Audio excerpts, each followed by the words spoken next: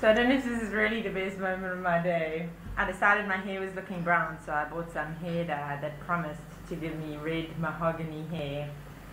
As you can see, it gave me carrot hair, which is partly my fault because I left it on a little too long. I got distracted and forgot to wash it off. But now I have carrot hair instead of mahogany. For more of our somewhat best moments of the day, visit justtheplanet.com.